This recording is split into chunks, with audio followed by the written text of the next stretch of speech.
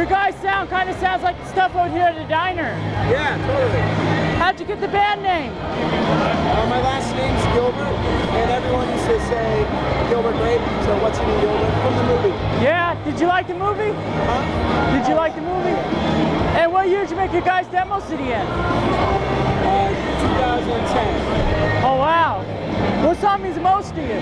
What? What song means the most to you? I would say, uh, it's a good question. Is that yours? Yeah. My Old Town, maybe? What's that one about? Uh, I can't tell you that. Oh. It's a long story. Yeah? Who Look your it up on the internet. All right. Thanks, man. Who are your inspirations? Um, Justin, you're my inspiration. Yeah, uh, for this project, I would say uh, more movies. Yeah? Cry Baby, uh, Stand By Me,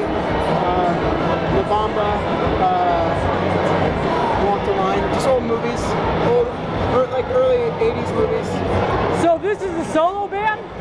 Well, I mean, there's people that play with me, but yeah, it's my project. Yeah. When was your first show? February 3rd of last year. Oh wow. Which one's the first one you recorded? which one? Which one's the First first one right there. Oh wow.